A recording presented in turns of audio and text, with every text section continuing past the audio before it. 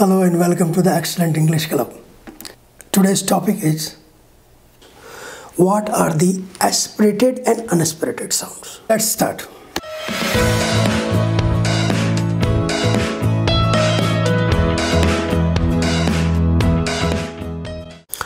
Aspirated and unaspirated sounds. This is very common. Sometimes you hear English people speak these three letters in a different way. I will let you know today how you can pronounce these three letters in different places. These are the three consonants I have taken from those 24 consonants. These are plosive sounds pa, ta, ka. These are voiceless sounds. And how we pronounce these three sounds? Look here.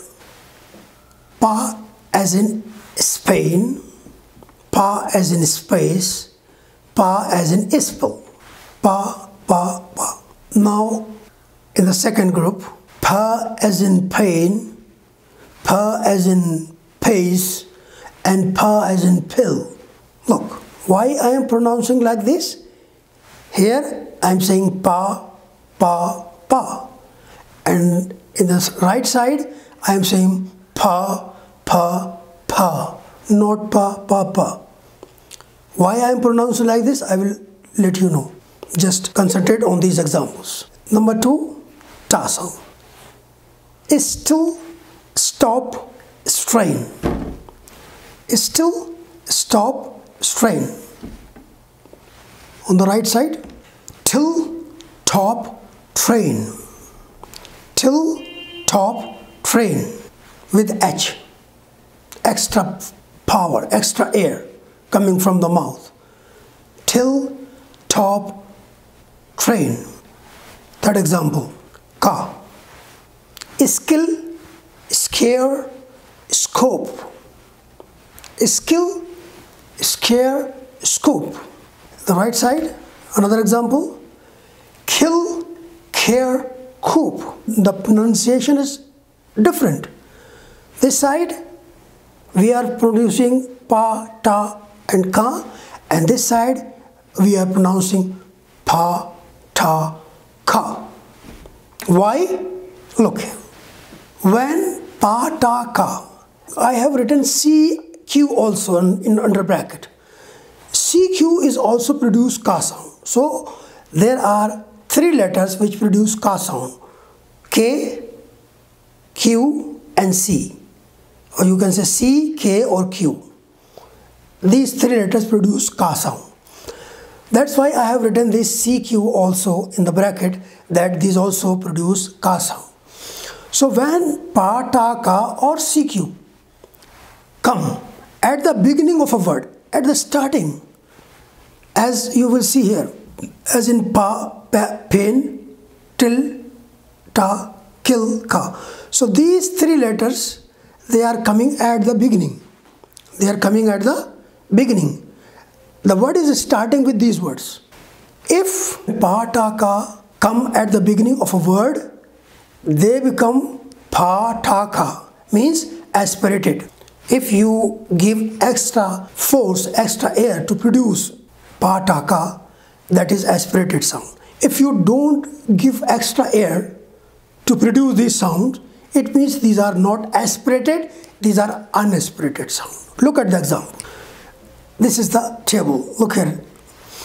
The first sound is pa.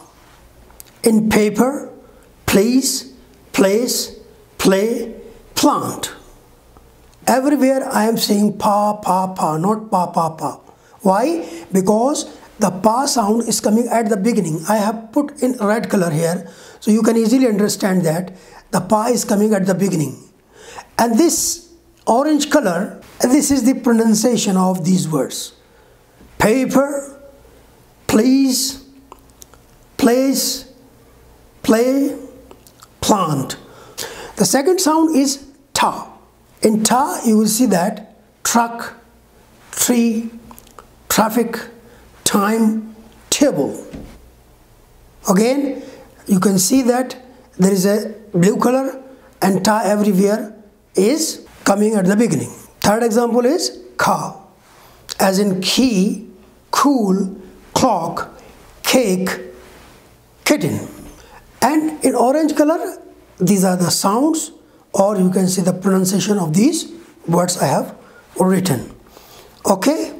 Now move to the example of unaspirated sound. These are aspirated with H, with extra power, extra force of air. They are called aspirated sounds.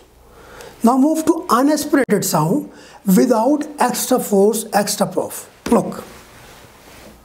When pataka or CQ come immediately after the first letter or in the middle or at the end doesn't matter.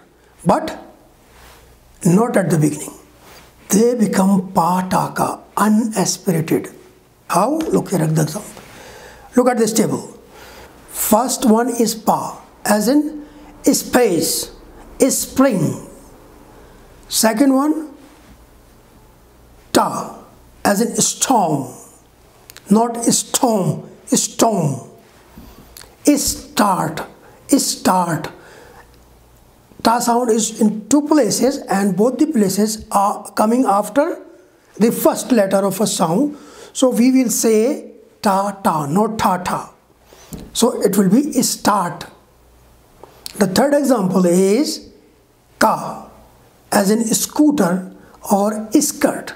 If pa ta ka come after the first letter or sound, they will be pronounced pa, ta, ka, which are called unaspirated sounds.